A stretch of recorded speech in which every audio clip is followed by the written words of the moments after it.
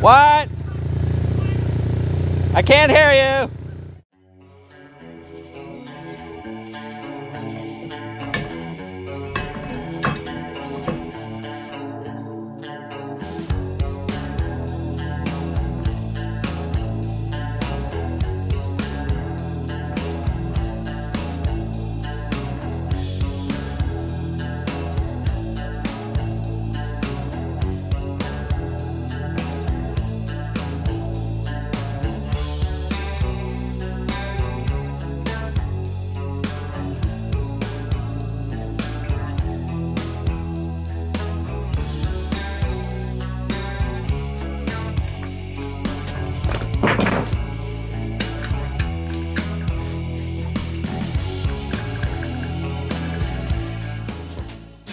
So last night we got the jack shaft tacked into place. Now like I was saying in the last video, uh, we're going to be hard mounting the jack shaft. That way it's locked into one place and it's locked to where the belt tension is at its proper tension.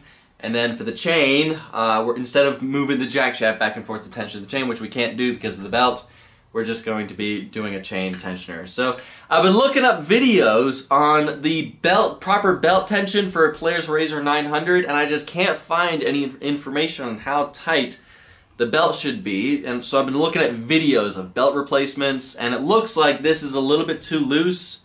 Uh, it looks like on a Polaris Razor 900 the belt is actually pretty tight on, on the CVT system. So let's, uh, let's move this thing forward a little bit more and get this belt a little bit tighter.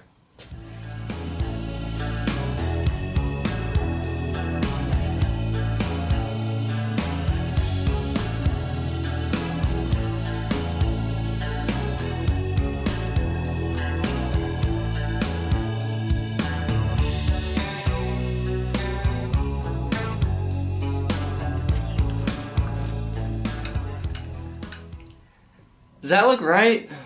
I don't know. I've yet to find a video where they do this. I really need to know how much the belt flexes when you push up and down on it. So I'm to call it good for now because I can adjust this a little bit. You can see the belt is like almost flat. I can shrink this up a little bit more to tension the belt a little bit more. So I'm to call it good for now and just, I, I, I think it's pretty good.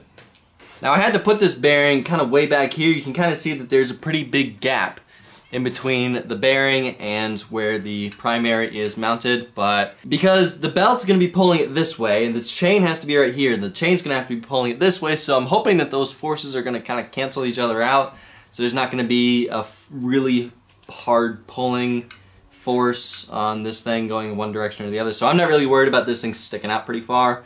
Plus we have uh, all of this to support it and it's an inch and a quarter axle so there's there's no way this thing's bending so I'm going to call this good for now. Let's move on to working on something else.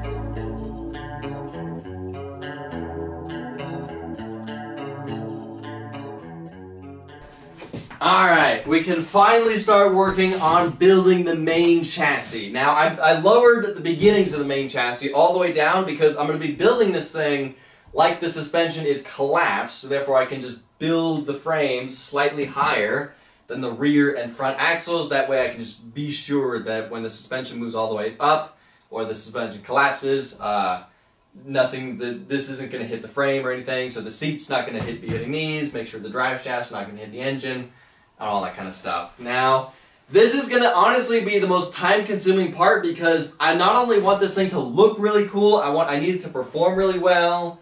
So this is going to take the longest with trying to make this thing look really cool as well as look like a rock bouncer, try to figure out where the tubing is going to go in the best places. So yeah, this is, this is going to take a little while. So let's start with uh, let's start with the front end and get the engine finalized in its position.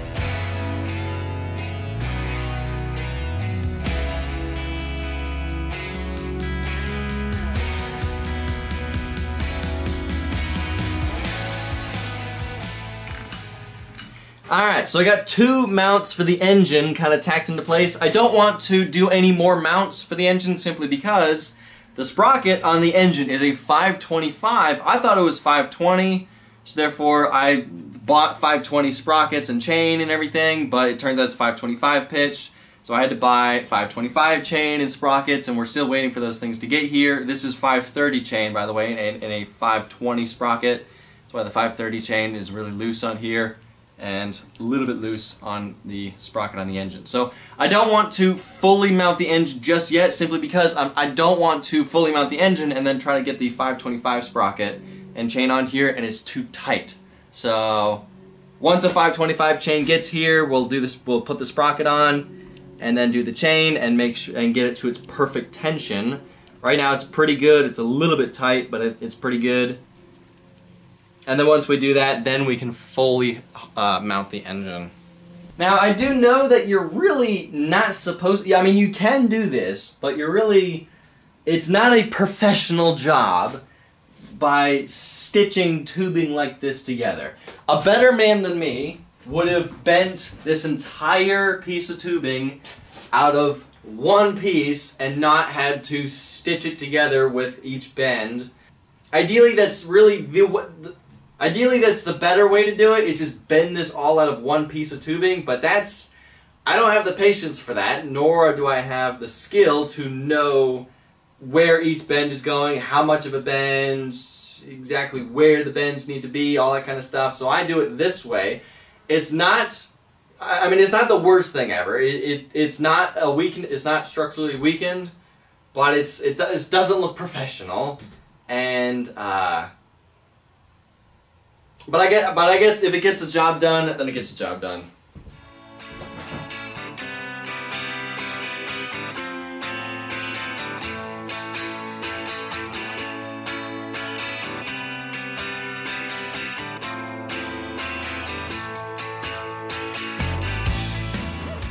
Alright, so this is the uh, winch for the CBR 1000 project. I'm putting this on here as mock-up because I have to build the frame around this. I was kind of thinking, is 5,000 pounds a little bit too strong for this size project? But I'd rather have an overpowered winch than an underpowered winch, so we're going to go with another 5,000 pound. And uh, once I go to Harbor Freight again, I'll buy another one so I can put this one back on the CBR 1000. But in the meantime, let's use it for mock-up. Now, we also have to make room for a radiator up front because I think putting a radiator in the back, that's way too complicated. Radiator lines going all over the place. I don't want I don't want to do that with this project. So I already bought a radiator on eBay. It is this size. It's a little bit big, uh, but I chose a big radiator, so therefore we don't have, have overheating issues with this engine. So the radiator is going to have to go in between the winch and the engine, something like that. It's going to go straight up and down. So we also have to make room for that.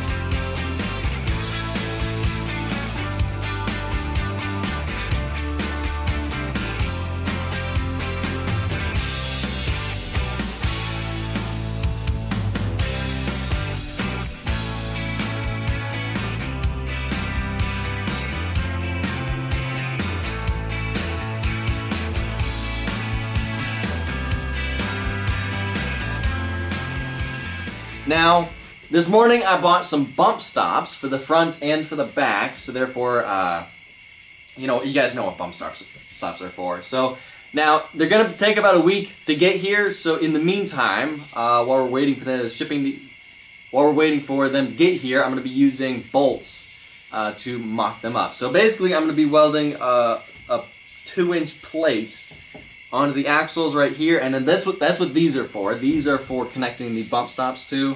So I'm going to be welding the, uh, these more plates onto here, and then that is where we're going to attach the bump stops to.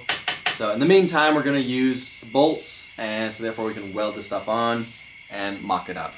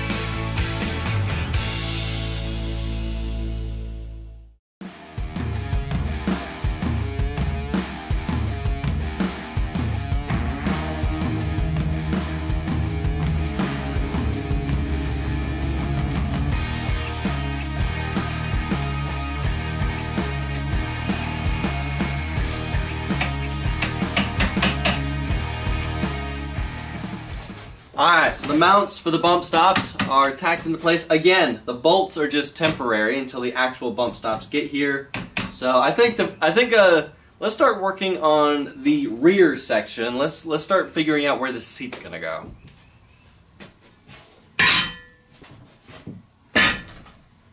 Will this hold my weight? This is a little sketchy. Let's hope it holds my weight. Okay. Yep, it's good. It's good. Just don't fall back. So I think that this is where I'm going to have to sit on this thing, which means that when the frame is all raised up, uh, I'm going to be pretty high off the ground. But my leg's going to be directly over the CVT. I will be putting, a, obviously, a piece of plate over it, so I'm not just having my exposed leg sitting on the CVT. It's a very relaxed seating position. You know, leaning back, don't lean back too far. Seems gonna be wild to drive. uh, I hope I'm not making the seat too high off the ground. I don't want to feel top heavy in this thing mosquitoes. This is the other seating position I could do. You know? But, but my legs are right next to a drive shaft. I don't know. Neither of, neither of them are perfect. But I think the other one where I'm sitting more closely and my legs are up like that, that's a lot more comfortable. Yeah. I, I, I, I guess I guess just put the seat, you know, forward like this so therefore most of my weight's more in the middle. The seat's high off the ground either way.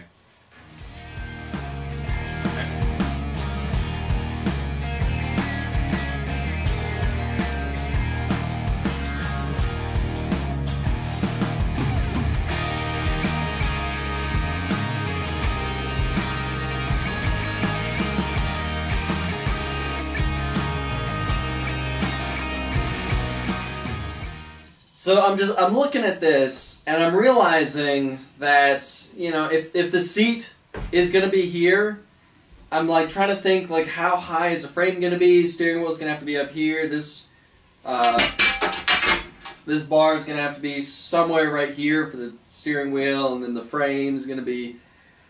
I'm realizing that if I if I left the seat like this. Um, the frame's gonna have to be super tall, and because I kind of made this the frame really skinny, it's gonna kind of look ridiculous with it being skinny and really tall. So, because the shocks that I bought, they are they have 14 inches of suspension travel, and again, right now I'm building the frame with uh, it sitting and it's the collapsed suspension.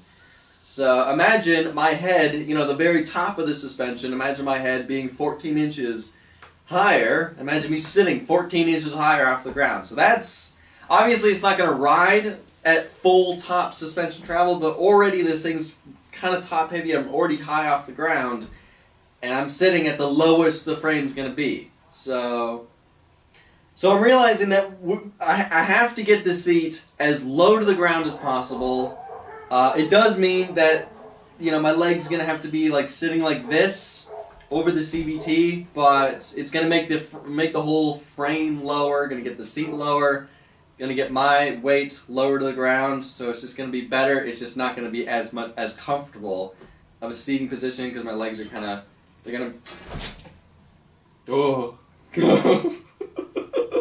oh don't do that you know, my legs are gonna have to have to be like, you know, up here. So, uh, yeah, let, let's let's figure out how to get the seat a lot lower to the ground.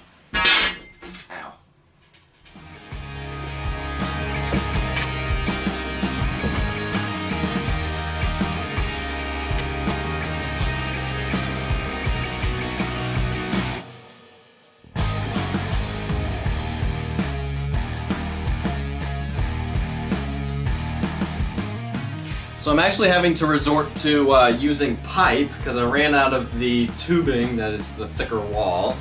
So we're just gonna have to use pipe, which is fine anyway because this is actually thicker wall and with a bend in it, you want something that's thick and strong.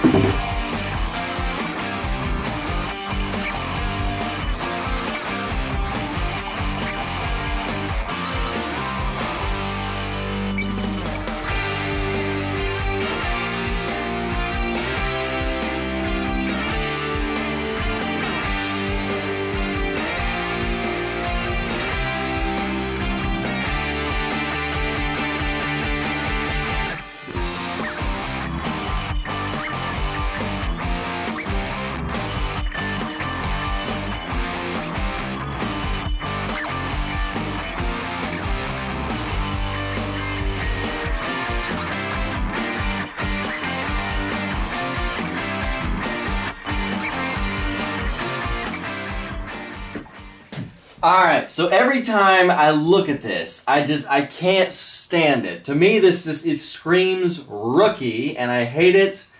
Uh, it's just the bends are, you know, the way I have to stitch these together, it's just, I can't stand it. So, I just bent this, just bent this up to replace it. We're going to attempt to replace it with this. And instead of kicking it out and down, it's I'm just gonna kick it down, go under this, and then go back up and then straight up to the front. So what that does mean is we have to cut it, we have to cut apart all that stuff we just tacked into place to replace this, and then we have to hopefully try to retack it in the exact same place once we once we replace this.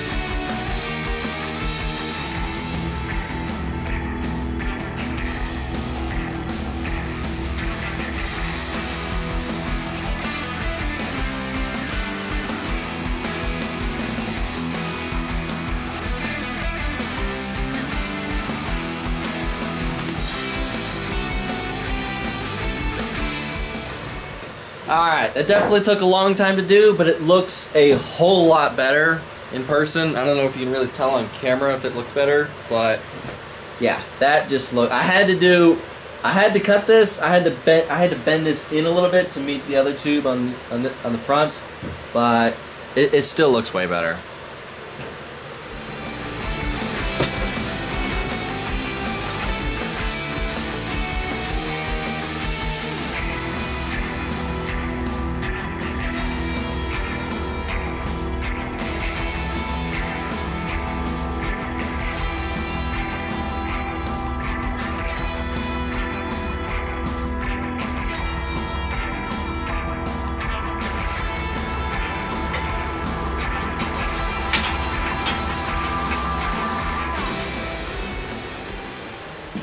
Alright, so I mocked these up to try and like figure out, you know, and honestly, I'm not really liking it right now. When I look at this, I just think of a bathtub. So with the back end, with these, uh, you know, rolled pieces, I was thinking like maybe the two pieces in the back can like, you know, bend down and kind of, you know, maybe that would look cool, but I, right now it just it, it looks too weird. It doesn't look like a rock bouncer. So let's try something else.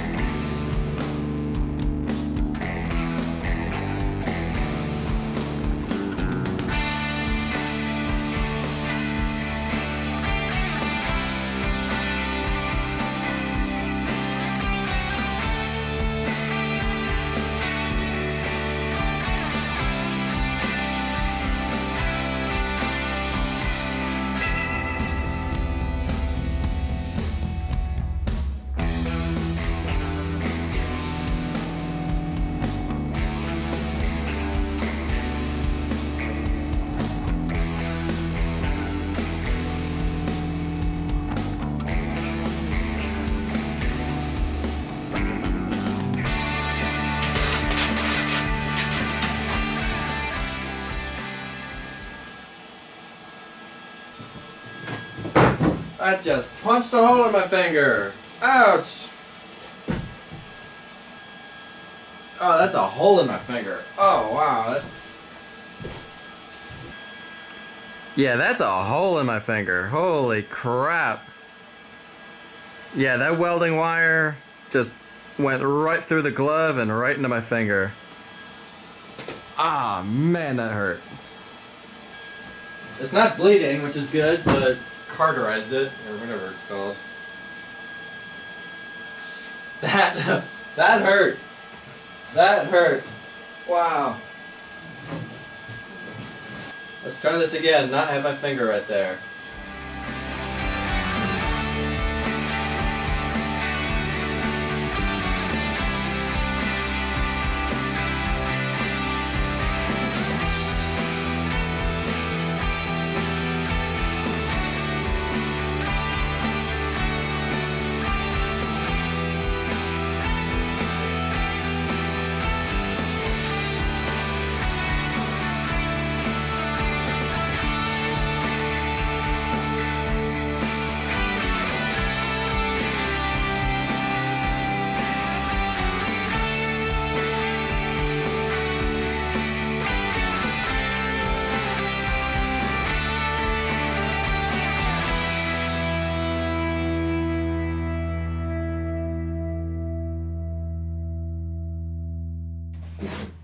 So I know this thing looks a little goofy right now, but hopefully once I add more tubing to this, it'll look a little bit better. But right now, I, I need to see if I have enough headroom. Ugh.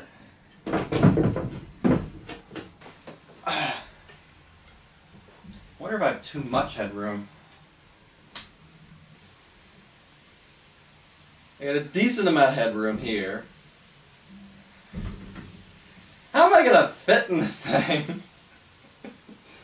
I mean, I, I, guess my legs are just gonna have to be just right here. How do I fit in the Grave Ninja so well? You know, that thing is, it's, it's perfect. It's tiny, but it's very comfortable. You know, I sit in that thing perfectly. But yet with this, it's a lot bigger, but yet I'm struggling to figure out where I'm gonna sit. As far as this, there's plenty of headroom. Not so much on the back. Whoa. Mr. Kitty is back. Hello.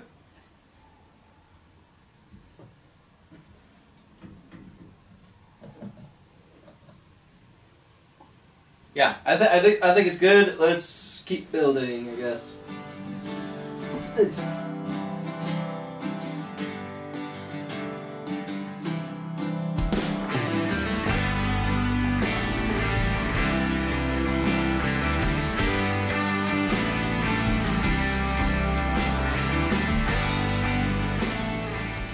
So this is why this is taking forever. I tack stuff into place and I stand back and look at it and I just go, I, I don't like it.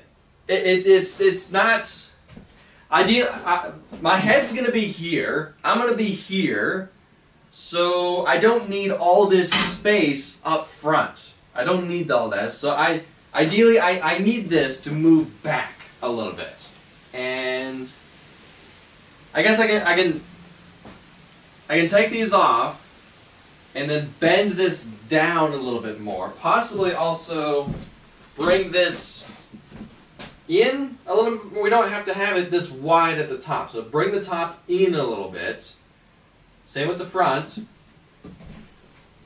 And just try to have this more down a little bit to give it more to push it back a little bit further. Does that make sense? I don't know. Yeah, let's let's re rearrange some stuff and see if we can get this to look a little bit better.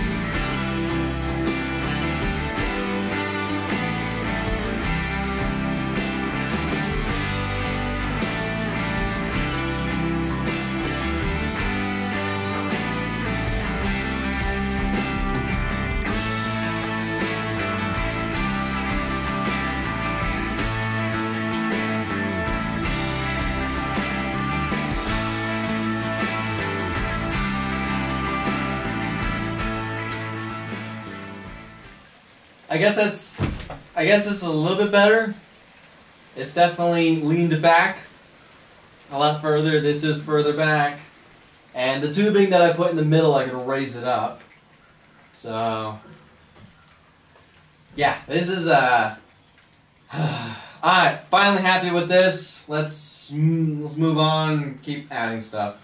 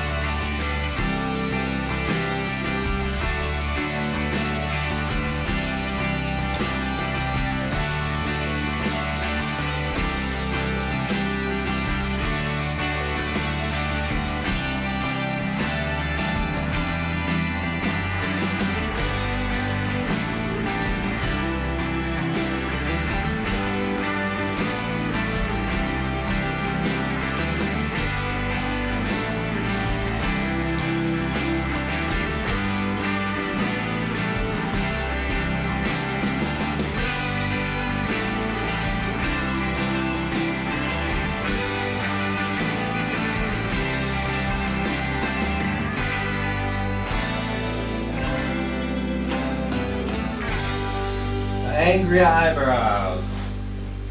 The look of all rock bouncers.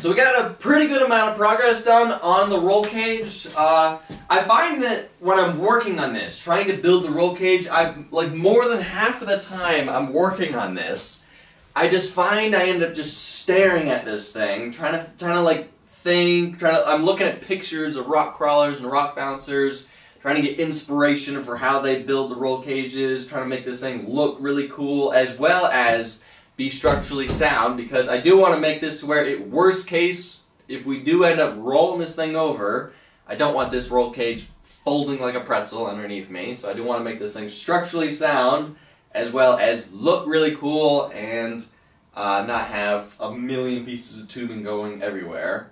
Now I'm kind of, uh, honestly, I'm a little pondering changing the name of this project. I know I've been calling this thing a rock bouncer for four videos now, but let's be honest, I'm more I'm more building a rock crawler. This thing is a rock crawler. It's I just want to make it look like a rock bouncer, so I'm I'm a little I'm pondering changing the name of this project because I don't want to build something that I'm calling a rock bouncer and then not rock bounce this thing. And you guys are like, well, why'd you call it a rock bouncer if you're not going to rock bounce it and just do rock crawling? So I'm, I'm considering just calling this thing a rock crawler from now on because let's be honest, that's exactly what I'm building, is just a rock crawler.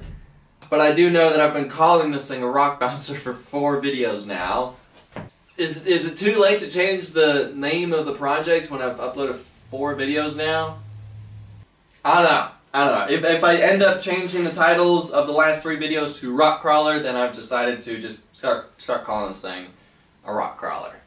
Now, a couple days ago, I uploaded part two of this project, and you guys definitely expressed your concerns with the CVT system that I installed on this project. Now, I, I do agree that it's, it may not work that well. It may, you know, first gear may not work, second gear may not even work, third gear may, may not even work on this thing because of how, how you know, the RPM of the engagement of the primary who knows? The reason I installed it is because I've always wanted to see what happens when you have a motorcycle engine and a CVT system on a project like this. I've always wanted to see what happens.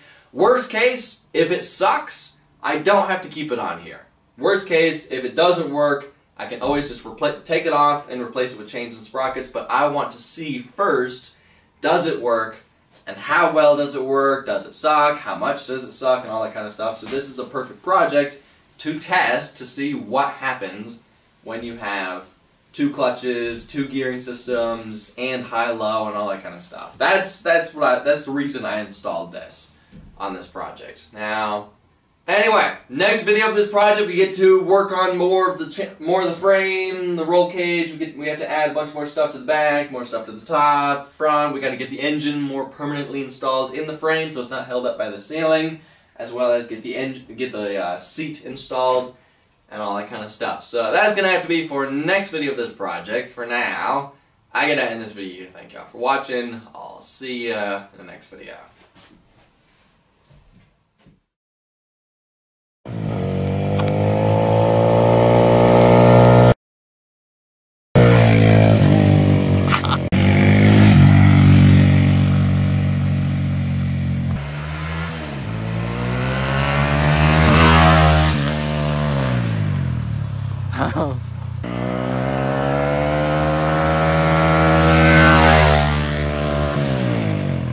Thing's fast.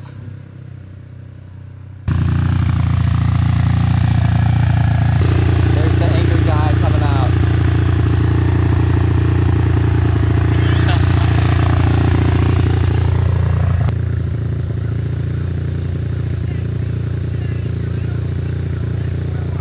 What?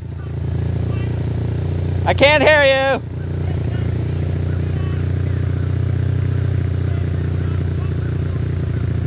Yep, say it louder. Nah, keep it running.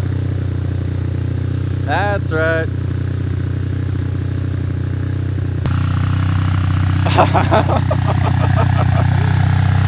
Did you hear him?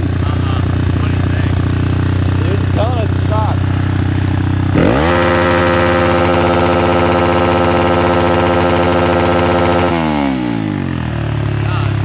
Take that! What's he gonna do? This thing's street legal, right? It's got everything. It's got everything you need. It's street legal. That is hilarious. We're driving a street legal motorcycle, and, and of course the the angry neighbor has to come out and cuss us out. I couldn't really hear what he what he was saying, but he was saying something like, "You gotta put that thing away. that thing's obnoxious." though. I was, So you guys have been wanting an old man part two. I guess that was it. We finally got him to come out and cuss us out again over a motorcycle over this a time. motorcycle. Yeah. So bit exciting, but you know, at least he didn't come out onto my driveway this time. So that's a yeah. He stayed on his side, He which was stayed- good. Yeah, he stayed, you know, in front of his house this time. So I, I don't know. So I've actually bought this Grom like two years ago. I, I think I did one video on this thing and it just, it sat forever because it never ran right. But we were like, let's pull this thing out. Let's, let's play with it. And it's, it's now running. It works. It, it seems to run fine. It's just, it always had an idling issue which this thing is idling really high now, but at least it's idling this time.